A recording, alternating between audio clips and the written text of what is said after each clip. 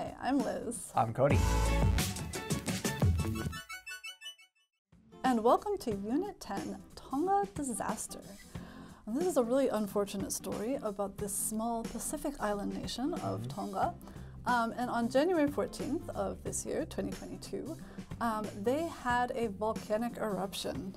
Um, and the volcanic eruption caused a 7.6 magnitude earthquake.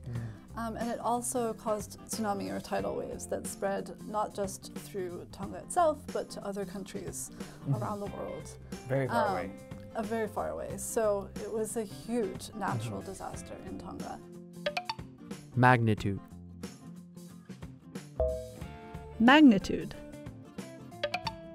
And a little bit more about Tonga. It's, you know, not, it's a small country, relatively speaking, but also large. So it's actually made up of 170 islands, um, which cover total area of an area three times the size of the Korean Peninsula. But I think the islands themselves are relatively small. Yeah. So it's a large area of ocean, but small Right. land mass. Right. Um, and it really is already somewhat isolated from the world. Um, they get some revenue from tourism. Um, you know, it's in the Pacific Islands, or Pacific, um, and tropical and beautiful. Um, but unfortunately, post COVID, they have not had that many tourists. Revenue. Revenue. And they've actually only had one case of COVID because of their isolation from the world. And this has really caused even more problems now um, with this disaster happening. We'll talk about that in the review. Um, but uh, going on that, what is the worst natural disaster your country has faced recently? Uh, well, since we're both from America, Mm-hmm. um, I don't know. Like, there, there's always some kind of natural disaster. Some Lots of natural disasters. Our, our land is so vast that we have so many Mm-hmm. different kind of climates and geographies. Uh-huh. Uh, We have a variety of natural disasters. You name it. it's yeah, I think we have everything. um, the most recent, I think, was some bad tornadoes that happened in the fall. I think you know wiped out some cities in the kind of tornado alley area, and that was unexpected. It happened late in the year, Mm-hmm. but you know, coming up soon actually is hurricane season in Mm-hmm. America, and that's a good swath of the southern and eastern area of America Right. that's potentially at risk every year. Mm-hmm. And hurricanes are the I think costliest disasters Mm-hmm. um, next to the wildfires in California. Right.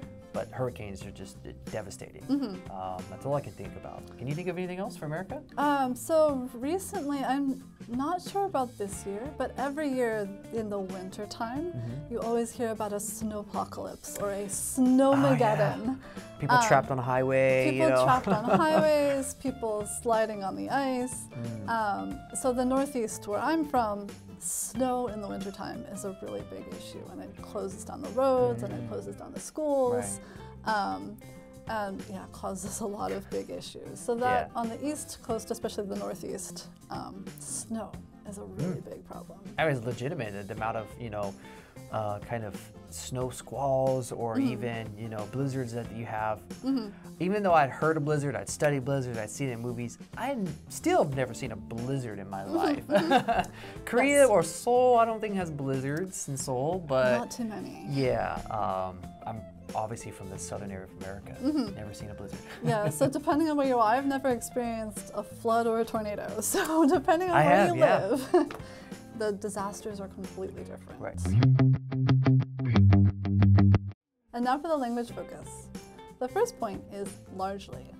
So, for example, the town that I grew up in was largely residential with some small businesses and even some farms. And for the second one, among other things, I really like the atmosphere and the food at the restaurant, among many other things. Okay. And that is all for the preview of Unit 10. We will see you in the review.